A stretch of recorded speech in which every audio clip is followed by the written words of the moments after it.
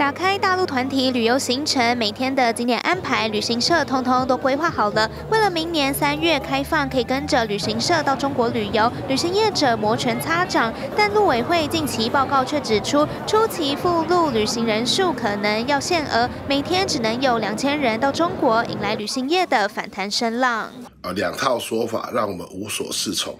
再加上这样子的呃做法的话，也会让我们整个秩序会大乱。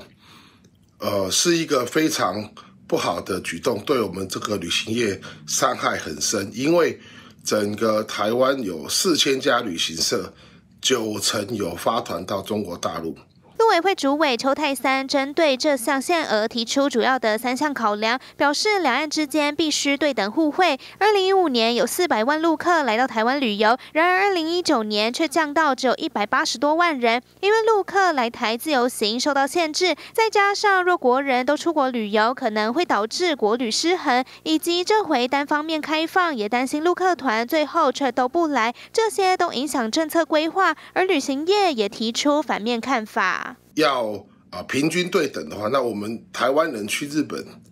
跟日本人台湾相差五倍；台湾人去韩国，跟韩国人来台湾也相差两倍以上。啊，从来就没有人这样子做过，所以呢，我觉得啊这样子的做法呢，让我们觉得非常的困扰。旅行业者呼吁交通部与路委会能够尽快把政策拟定好，以免让旅行业者有所期待却又落空。八新闻综合报道，民生八方式尽在一小时，赶快订阅我们八大民生新闻的 YouTube 频道，还要记得开启小铃铛。